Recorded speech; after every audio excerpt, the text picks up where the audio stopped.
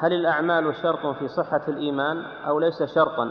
وما الأعمال اللي يقول أنه شرط؟ هذا المرجئة.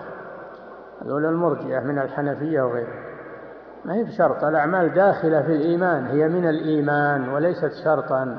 هي من حقيقة الإيمان. فالإيمان قول واعتقاد وعمل. ما قالوا أن العمل شرط بل يقولون أنه من حقيقة الإيمان فلا يكون مؤمنا إلا بالعمل. نعم.